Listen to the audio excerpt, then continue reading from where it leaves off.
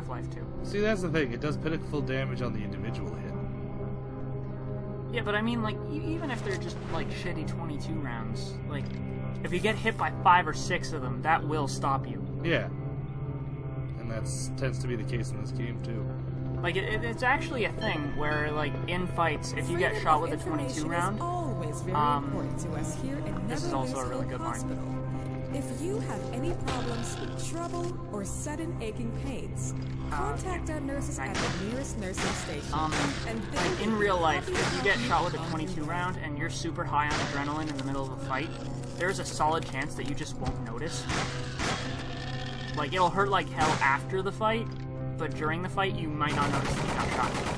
Uh, in fact, Andrew Jackson um, got shot with a low caliber bullet uh, during a speech, didn't notice, and continued to give the speech with the bullet in him.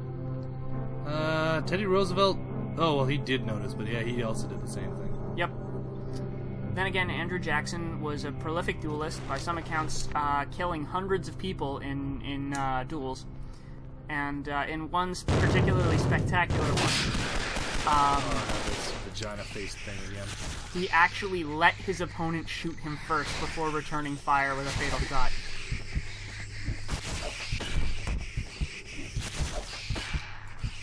Guns.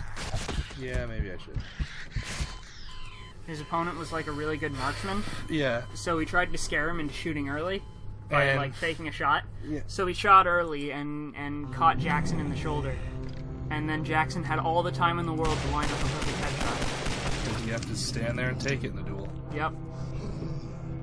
Uh, apparently, in dueling etiquette, though, um, if your opponent has already fired his round and you haven't fired yours, you can simply fire yours into the air and you will be considered the winner. But Jackson decided, no, I want to kill this man. Freedom of Jackson information thought is to always himself, very "No, important to us that sounds like the Neverland wimpy Hospital.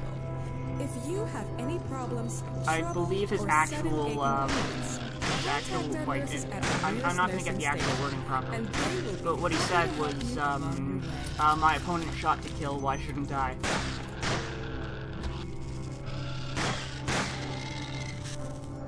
Mean, he's not wrong. Well, a lot of people criticize him because he didn't have to kill the dude. But, I mean, he's not really in the wrong for having done it. I mean, it all depends on your point of view, right? Like, it is technically self-defense. Well, you're in a duel. Both of you have signed away, like, not assault.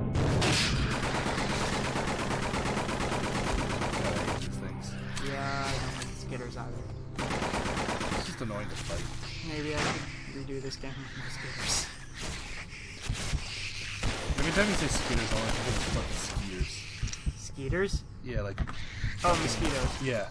God damn it. Do you want me to do it? Yeah, just do it. Okay. Uh, I've had it up to here with this. Alright, switching people. Ah, my leg. Oh, fuck. I don't even know how long we've been recording for. Me neither. I think this might be the horror game we do for the night. Okay. Oh, Jesus, I'm getting no sound.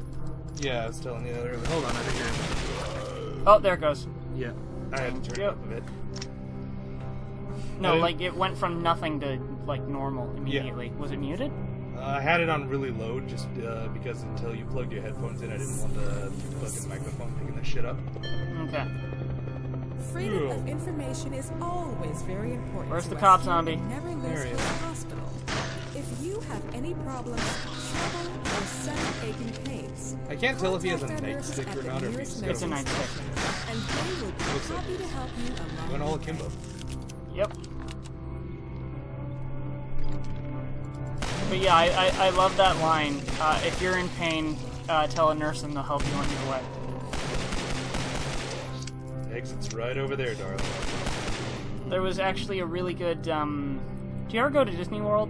Uh, when I was really young, so I have vague fever dream memories of it. Okay. Uh, did you go on the Haunted Mansion ride as a kid by chance? No. Okay. Well, uh, there's a narrator in the beginning, right? Yeah, Uh, yeah. I think you mentioned this way, way back when we were playing Silent Hill, and they had the uh, haunted house that was kind of themed like it, except it was actually haunted. Yeah. That was super on the nose. I loved it. Yeah. But Yeah, uh, because at first you're just like, oh, this is just campy nonsense, and then it was actually haunted, and we're like, oh, never mind. This is actually good. It's good campy nonsense. Yeah. Like like Resident Evil 4. yeah. Let's face it, that's all Resident Evil 4 is. Just well executed campy nonsense. Well, no, it's it's pretty legit for a Resident Evil game anyway. Yeah. But then they all started becoming stupid and irreverent, and like Resident Evil 4 is the only one that did that well. Yep. Which is why it's still the high watermark for that series. Well, like, that's the thing. Like, there have been some that are all right, but yeah, no, I think Resident Evil 4 is probably the best, just because I'm gonna say Resident Evil 4 was just a well executed game that came out at the perfect time for that style Yep. of game to come. out. Also, this is some bullshit. Uh, see this right here? Yeah, This big electric thing? yeah. You have to knock the cap off this, and then chuck that in there.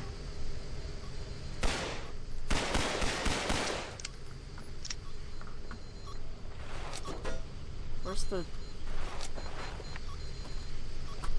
Where's the what? Where's the kaboom? There's supposed to be an earth-shattering kaboom. Where's the kaboom? God damn Maybe it. you throw the other one in.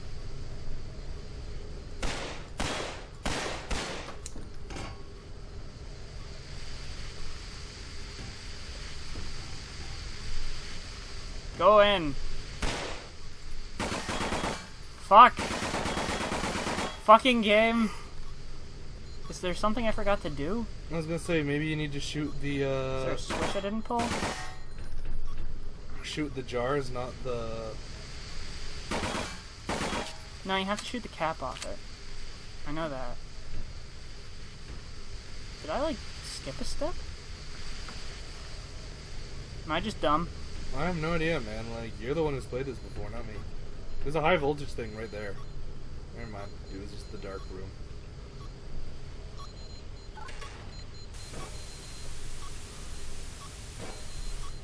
The console No, is yeah. Oh, okay. Find another way to shut it down.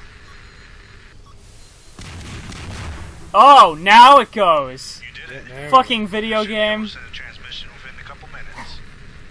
Uh, Well, that's a thing that happened. Yeah, see, you broke that. You literally broke sequence. Well, uh, report the bug to the devs, who are me, who won't care. You're not even the devs, you're whatever you call the fucking driver. I'm like the IT guy who just stepped in to make it work at the end. staff, please evacuate area immediately. Run, This is not a system test. Can't go that way. Also, it's not letting me switch guns. Maybe I'm out of bullets. It's entirely possible. Nay, likely. Fuck it. I'm just gonna dodge. Health kit. Goddamn. Oh man, so I got a comic book recently, which is uh, a Star Wars comic Okay. of uh, pretty much. Darth Vader gets sent to this. That's just a pit to hell. Yep. Uh, Darth Vader gets sent to this one planet because a bunch of assholes on it are planning on rebelling, and it's pretty much just like a horrifying um, lava planet where like they mine ores, Okay. and um, So, know, like Mustafar? kind of. But uh, the entire thing is that like a group of aristocrats took over the planet, Yep. so now like you know there's the ruling class, and they have all these dumb rituals because the entire planet is based around pretty much just appeasing ruling class assholes. Okay. Uh, so Vader goes down, and uh, one of the aristocrats is like, "My daughter wants to dance," and Vader's just and like the person who's escorting Like Vader, with Vader? yeah, and the person who's escorting Vader's like, "I really don't recommend this," and the guy's like, "No, I insist. If you're here, you have to dance." So Vader's like, "You want to dance?" And he just starts force choking the guy and ballroom dancing as the guy's just tumbling above him. Then he chucks him into a pillar and he's like, "Well, does anyone else want to be my partner?" Look, nobility's all well and good, but when someone's a magical space wizard with, Yeah, a, with, fuck a, off. with a laser sword, maybe Yeah. do what they tell you. Yeah. Oh man, and then there's like a long rebellion plot. Vader kills the entirety of the royal family except for like the little brat, and is just like, "All right, you're in charge now." Do you still want to dance? No, no, it's a different brat. Okay. She's like, like he's like, you're in charge now. And she's like, wow, you broke all the traditions. She's like, yeah, I'd make new ones. He's. Oh, by the way, I have a gift for your dad. You were dead for sure. And She he gives her a rock, and she's like, "What is it?" She's like, "That's all that's left of Alderaan." Fucking remember your place. Anyway, we should keep moving. That's good. Yeah, Squad, this is Chopper. You copy? So is it actually a rock from Alderaan? Or yeah. is It was just a piece of Alderaan in a fancy box, and he's like, you know, "Fucking, do you get the message? Do you see what I'm trying to say here?" Don't make me dance. Yeah. Sith Lords.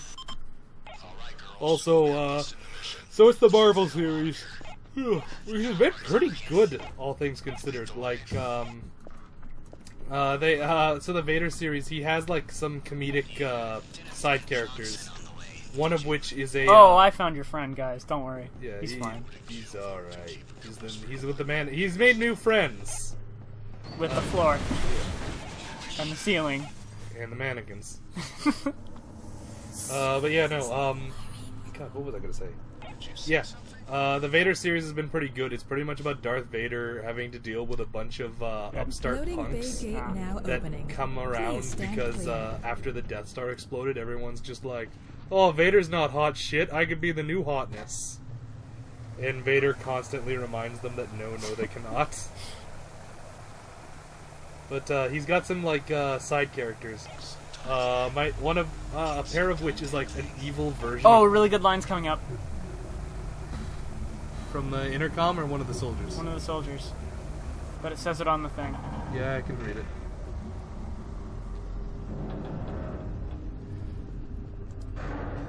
Fucking road flares.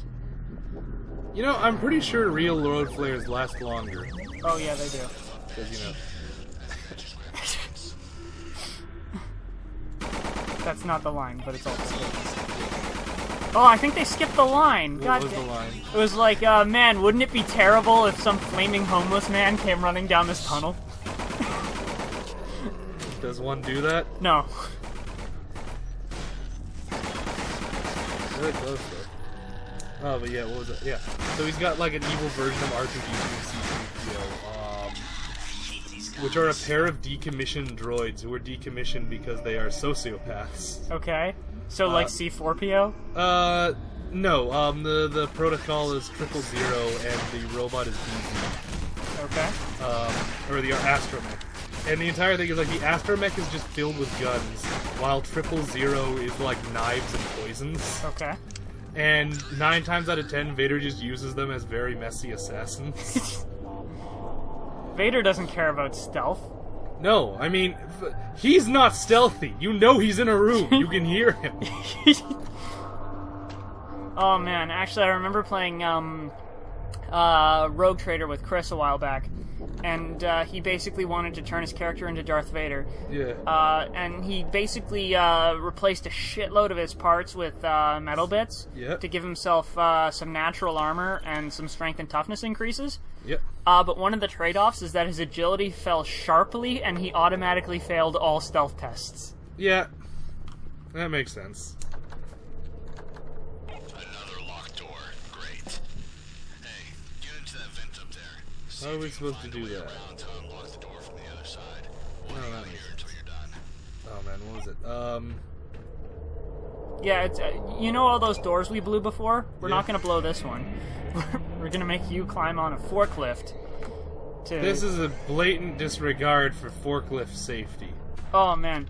Oh god. Well, um, but yeah, no. Uh, there's a great scene where he has like his two droids, Yep. and he sent them ahead.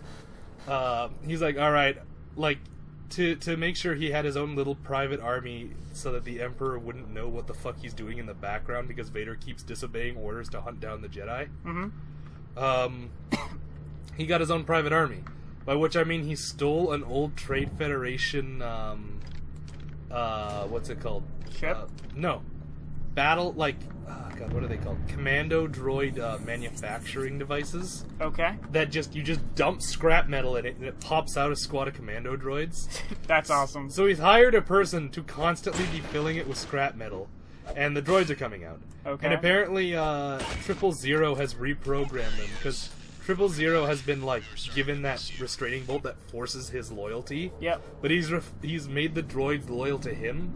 So like they are loosely daisy chained. See, now this door is fucking locked, Yes. and they blow this one.